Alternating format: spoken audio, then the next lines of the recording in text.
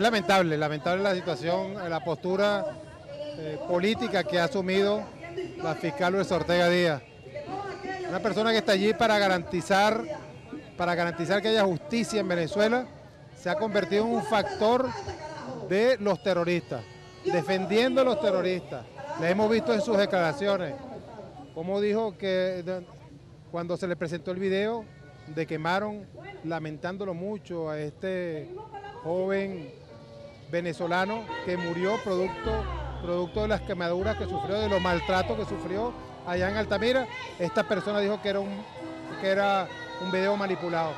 Es lamentable esa postura y nosotros estamos obligados a desnudar, a desnudar las intenciones de la fiscal, que se ha plegado se ha plegado a la derecha radical, a la ultraderecha, se ha plegado al terrorismo y se ha plegado a los intereses del imperio. La tocaron, lamentablemente, y sus convicciones no estaban bien arraigadas y sucumbió, sucumbió a la tentación.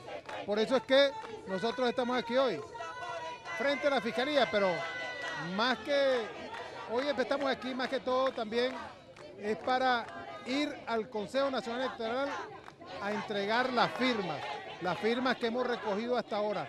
Es un paso más, un paso más a esta Asamblea Nacional Constituyente, en donde se están cumpliendo todos los requisitos exigidos por el Consejo Nacional Electoral para llevar adelante la, todo el proceso de manera idónea. De manera pues que el pueblo en la calle, estamos aquí defendiendo la revolución y defendiendo el llamado que ha hecho el presidente Nicolás Maduro de ir a la Asamblea Nacional Constituyente.